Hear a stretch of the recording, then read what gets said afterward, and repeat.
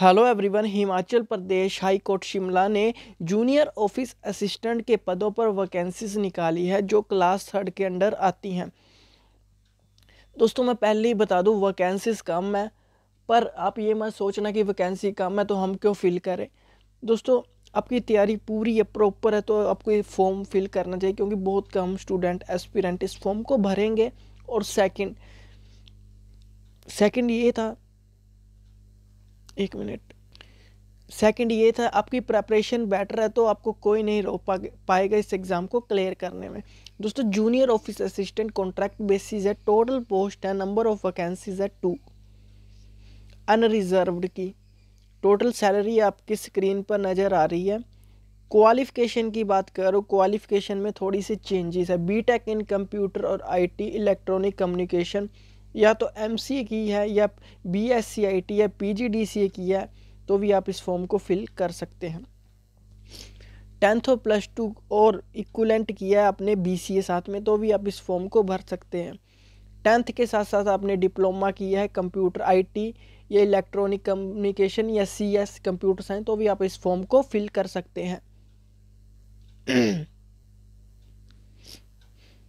जैसे आपने टेंथ और प्लस टू के साथ साथ डीसीए का सर्टिफिकेट है diploma in computer application ITI diploma in computer और equivalent diploma in information technology या फिर और ए लेवल का डिप्लोमा है आपके पास तो भी आप नील्ट से भी है तो भी आप इस फॉर्म को फिल कर सकते हैं। अब बात आते हैं फ़ीस जो एक जनवरी से इसकी ऑनलाइन रिक्रूटमेंट शुरू होगी एक जनवरी से इसकी ऑनलाइन रिक्रूटमेंट शुरू होगी। इस वेबसाइट पे जाके आप फॉर्म फिल कर सकते हैं। या तो ये वेबसाइट है, दो वेबसाइटें हैं। नहीं तो आप ऐसे लिखोगे H P high court Shimla recruitment या ऑनलाइन वैकेंसी तो भी आ जाती है उनकी वेबसाइट आप वैकेंसी पर क्लिक करना, सीधे आप ऑनलाइन फॉर्म पर फिल प्रोसीजर पर पहुँच जाओगे। लास्ट डेट होगी twenty two two thousand twenty बीस फरवरी लास्ट डेट है फॉर्म भरने की। सिलेबस और वही है जो पहले होता था, फिर भी मैं आपको बता दूँगा।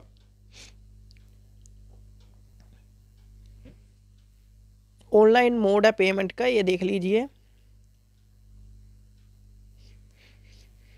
और बात करते जो general category E W S candidate है, उनके लिए है तीन सौ चालीस रुपये अदर कैंडिडेट के लिए वन नाइन्टी रुपीज़ है, जो भी रिज़र्व कैटेगरी में आते हैं। ठीक है? एक बार फ़ी पे करने के बाद आपको फ़ी वापस नहीं होगी। आगे चलते हैं। जो आपको, जब आपका एग्ज़ाम फॉर्म फिल कर दिया जाएगा तो आपको ईमेल की थ्रू इंटीमेट और एसएमएस के थ्रू ईमेल आपको आ जाएगी। ईमेल आईडी और फ़ोन नंबर ज़रूर डालना। है एडमिट कार्ड भी आपको ऑनलाइन ही आएगा। आपके जो ईमेल आईडी आपने फॉर्म भरा है, या आप अपडेट रहते रहना, जब भी फॉर्म आएगा, फरवरी के बाद आएगा, उसको फॉर्म एग्ज़ाम होगा। ठीक है? और जब आप, जब आपका एग्ज़ाम होगा विदाउट आप एडमिट कार्ड, आप फॉर्म टेस्ट में नहीं बैठ पाओगे। बस यही बताना था। हाई कोर्ट शिमला की ये वैकेंसी है। Thank you and have a nice day bye bye